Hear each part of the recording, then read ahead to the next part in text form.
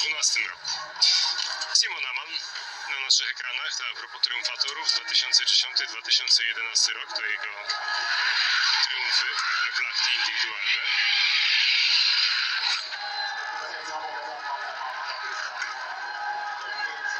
No i jak przystało na byłego triumfatora. Wylądował daleko, w odróżnieniu od jego wczorajszych skoków e, w rywalizacji drużynowej nie było. Noty nie będą za wysokie, tak. Wylądowanie nie było piękne. 122,5 metra. Odległość robi wrażenie. Tym bardziej, że on będzie miał ponad trzypunktową bonifikatę za wiatr. To jest jeden z tych zawodników, którym się punkty będzie dodawać, no ale jedyny, który przy tym niesprzyjającym wietrze wylądował za 120 metrów. Pierwszy, pierwszy, tak. Mimo, mimo, że noty nie były nadzwyczajne, ale też nie były najgorsze, bo 2 razy 17,5 to tak